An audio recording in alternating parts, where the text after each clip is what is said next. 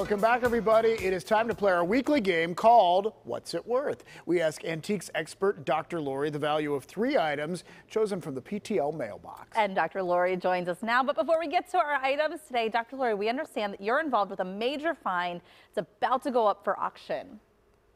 Yeah, actually, in 2019, I appraised the first, the 2007 first generation iPhone, and it was in its original sealed case, and I appraised it for um, someone who was on a television show with me.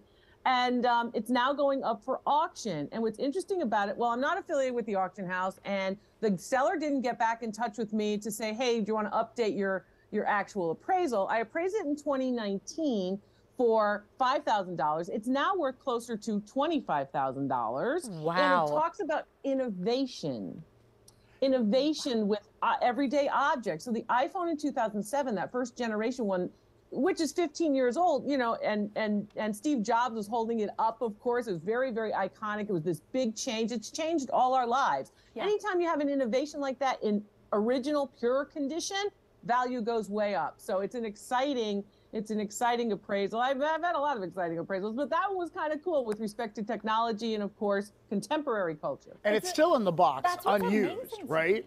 Still in the box, sealed and unused. Okay, So because I have some old iPhones in a drawer, I think. Yeah. Yeah. Not, Not the same thing. not the same thing. Not at all. Not Yeah, at all. But cool. Okay. They were they were expensive. I mean, they're still expensive. So I, it's hard to believe that they purchased something like this, and then we're like, you know what? I'm just not going to use it. Right, Well- right. Yeah, and the provenance is interesting because actually she worked for a particular company that was promoting them. And at that point, who cared about an iPhone, you know? But Yeah. this is what you're starting to see. So anytime there's an innovation, something new, something, you know, cutting edge, state of the art, if you can afford to keep it in pristine condition and not use it, uh, thir- 15 years later, it's going to be worth something. Wow. All right. Well, let's get to our items today. We're going to start uh, with a doll that was sent in by Lisa. Yeah.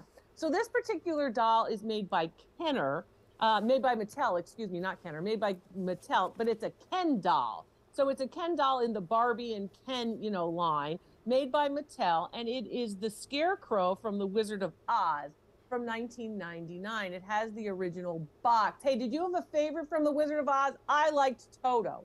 Yeah. I mean, who could Oh, be mad at Toto? Yeah, who could argue with that? Yeah. All right, yeah. so this is in the box, never been used, and it's from 1999. That's right. That's right. It's a collectible, and I believe that it was one of a series. So you could get, as you said, the Tin Man, and you know the the Lion, and Glinda, the Good Witch, and the whole deal. Dorothy. Um, Okay. Toto was with Dorothy. She didn't have. Toto didn't have like their own toy, which I think is, I think that's lousy. It's a travesty. Yes, Okay, Toto deserves his own spotlight. What'd you say? I know. I, love said, dogs. you know what? I, I said $65. I said 250.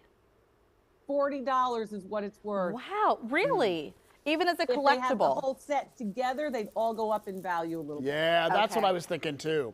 All right, uh, look at me. Dr. Lori and I were thinking the same thing. All right, hey, a planter sent in by Nancy is our next item. Oh, I love Heather Abraham. I'm sorry. She's hilarious this morning. Planter, ceramic, uh, uh, cobalt blue glaze. Uh, it dates to the late 1900s. It's rather big. It's stoneware. I mean, it's not my favorite that people have sent in. And people go, I can't believe Dr. Lori just said she didn't like my planter. Nothing against your planter. but in terms of quality, if you look at the top, you can see it's kind of wavy. If you look at the striations in the middle of the piece, it's really done pretty quick and dirty, as they say, pretty quick. Uh, so I'd like to see a little bit more time taken with the glaze and the application of the glaze for quality, because I'm always trying to teach you how to look for quality. Okay. All right. Um, based on some of the things that you have said. Yeah, I don't know. I'm, I'm lowering my evaluation. All right. What'd you say? I said $60. I said 45. $45 is what it's worth. Wow. You said 45? Yeah, So I hit the nail on the head? Oh, all right. That's And we're tied up as we go into the last one. All right. Last one is Quality a chair important. sent in by Quality is Pam. important. Hi, Pam. Thanks for sending them in. Thanks everybody for sending them in. This is a Jacobean chair. So the Jacobeans, of course, um, early Northern Europeans. You're seeing these pieces, and this has those scrolled arms. You know, at the end they look like a scroll, and they have what's called barley twists on both sides of the back splat. It has red leather seat and back splat um, upholstery. It's solid hard wood. This particular piece actually came from Yugoslavia in the Jacobean style. It's from the early to mid 1900s. It's quite large. It, it's an oversized chair. What do you think? So, so it's not part of a set. It's just a chair Nope. by itself. Yeah, it's just a, a what you would call an armchair. Some people call them captain's chairs, but technically this is not a captain's chair. Um, but this is an armchair. It's in the Jacobean style, but it was apparently, according to Pam, it was made in Yugoslavia. I feel Okay. like this is a timeout chair. I, it could be a timeout, timeout chair. chair. It's a very fancy timeout chair. I said 125. I went higher than that. I said 400 because I just think it's very unique.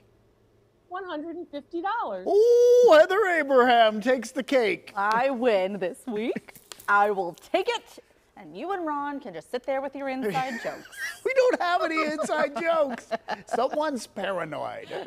Thank you, Dr. Lori. Congratulations, Heather. Congratulations, you winner. And we want to say thank Bye, you to Dr. everyone Lori. at home too for sending us your pictures. If you'd like to send yours to Dr. Lori, email us at ptl at kdka.com and maybe yours will be chosen for a future episode with Dr. Lori.